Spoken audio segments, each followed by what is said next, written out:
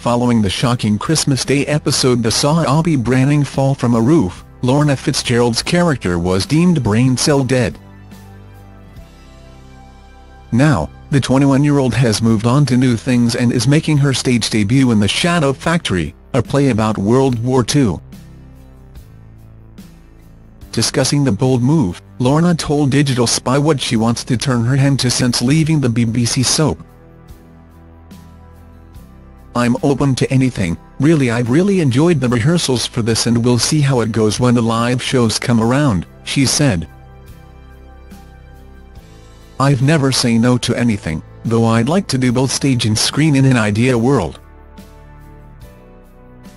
When you're an actor, it's just a case of going with the flow, really.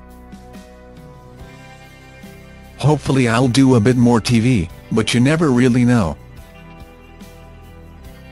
When you're an actor, you just have to take it day by day.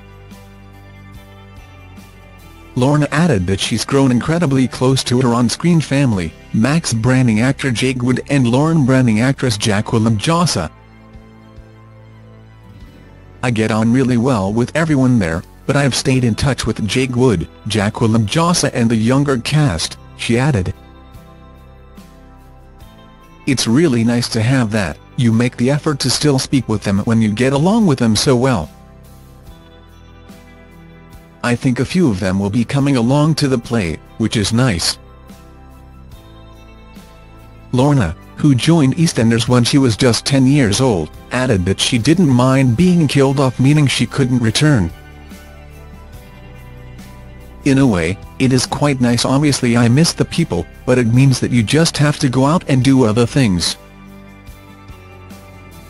The scenes were great, even though they were so sad.